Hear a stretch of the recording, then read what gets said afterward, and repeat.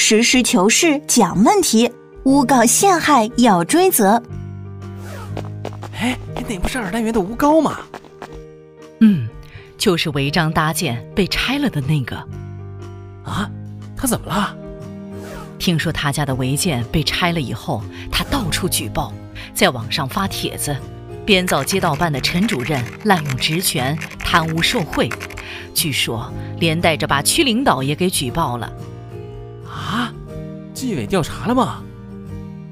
调查了，陈主任没问题，前几天还给他澄清了。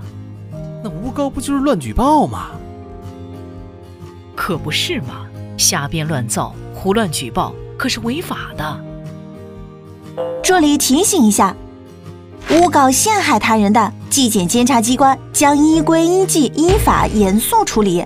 如果涉嫌犯罪，还要追究刑事责任。当然，纪检监察机关会注意区分诬告陷害和错告，严格按照规定和程序认定诬告陷害。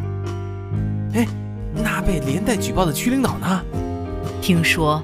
这种好像叫什么挂名举报，就是说，有的人为了引起重视，把事情搞大，就把一些领导名字写进去博眼球，实际上跟人家没有关系。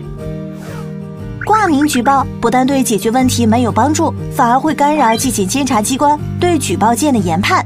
所以说，举报要实事求是，一就是一，二就是二，是谁的问题就反映谁的问题，绝不能东拉西扯、张冠李戴。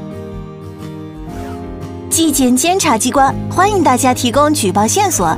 一方面，请举报人通过正规渠道，依法有序、如实举报，这样可以更加准确、高效地解决问题；另一方面，请遵守国家法律法规，不能损害国家、社会、集体的利益和其他公民的合法权利。